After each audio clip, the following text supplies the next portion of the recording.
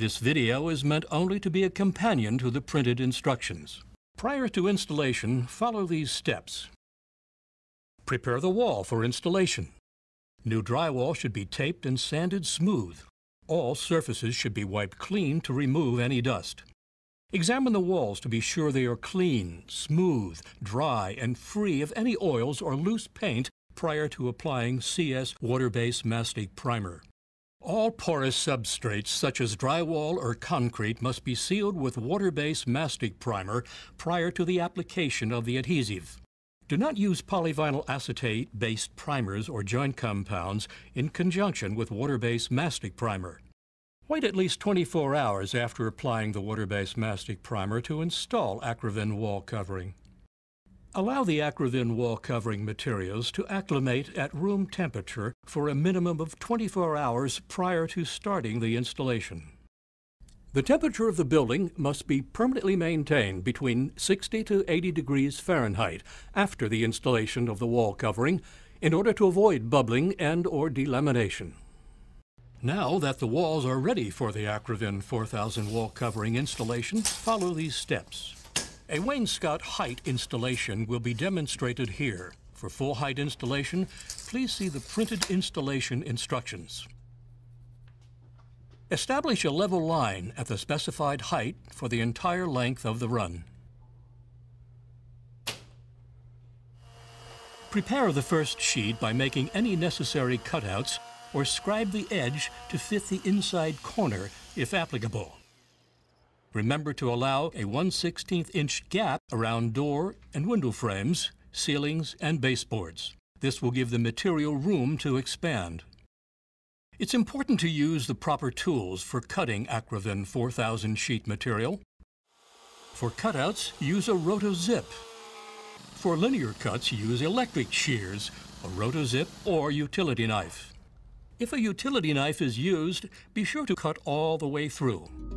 Applying the water-based mastic adhesive. Use the supplied 1 8 inch V-notch trowel to apply water-based mastic to an area of the wall surface that can be completed within the cure time of the adhesive.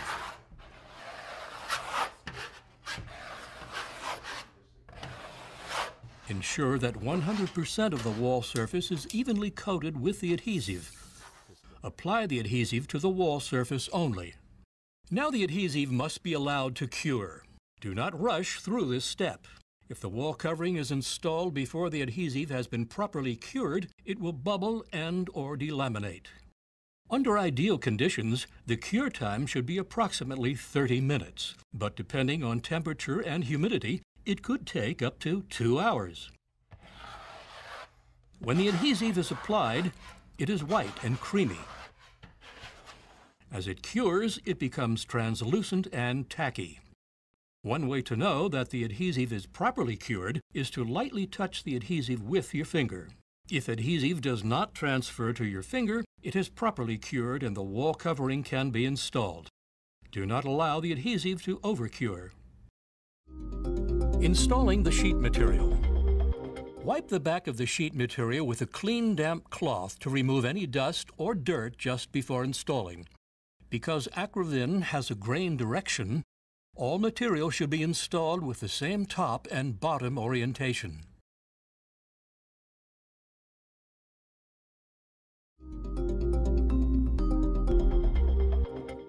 Do not install the trim tight against the sheet edge, allowing 1 16th of an inch for expansion.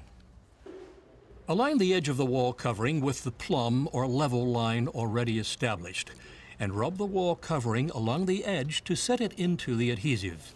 Continue this procedure over the full length of that edge of wall covering until it has been aligned. Lightly rub the rest of the wall covering until its entire area has made contact with the wall surface. Wainscot trim is then installed. It is necessary to notch the back of the trim where it intersects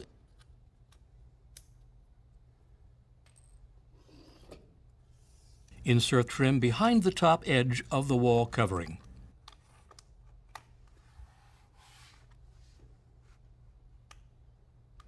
Once the Acrovyn wall covering has been aligned with the plumb line or adjacent sheet, use a roller to ensure maximum contact with the adhesive.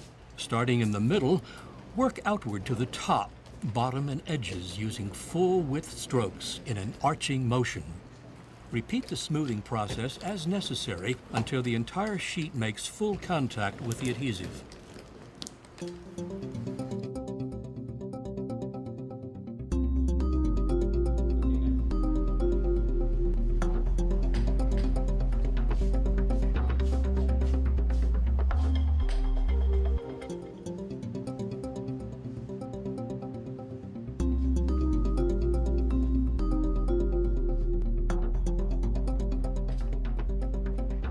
CS color-matched caulk can be purchased separately for use at wall covering joints. When caulked joints are specified, a gap is required between sheets. Do not make this gap less than 1 16th of an inch wide. When the wall covering installation is complete, be sure to remove any excess adhesive residue with soap and water.